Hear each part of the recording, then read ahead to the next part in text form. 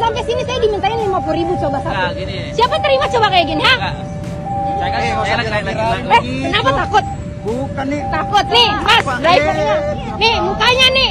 Viral video seorang penumpang ojek yang tak terima diketok harga oleh oknum ojol. Video tersebut diunggah oleh akun TikTok @rajunet.